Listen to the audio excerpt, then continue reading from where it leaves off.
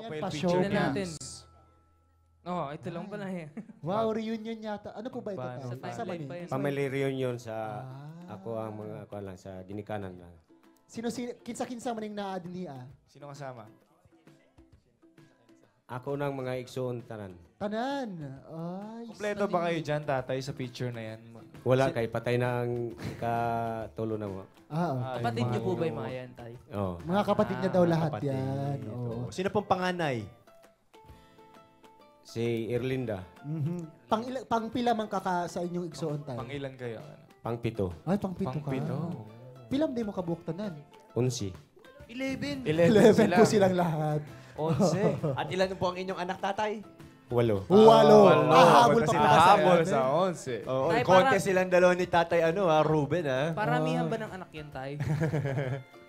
Murag sa ako ah, kay murag lisod man gid na. Tama na natin ang walo. Ah, Okay na okay, yung walo na lang Kasi siya. nung sinaunang araw, di ba, paramihan daw ng anak yung mga lolo Hindi naman paramihan. Hindi, kasi sa kanila Nagkakataon kasi, lang. hindi Ah, pa naman okay. uso kasi yung mga contraceptives na ganyan. The more, the merrier. Oo, tsaka the more na ano, mas kakalat yung ano, surname. Ayun. Oo, lahi. Mm, yung Big lahi. family. Oo, ayun.